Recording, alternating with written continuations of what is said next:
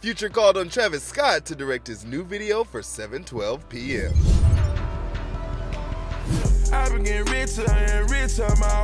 Future dropped his new video for 7:12 p.m. on Tuesday, and it was a team up with Travis Scott directing.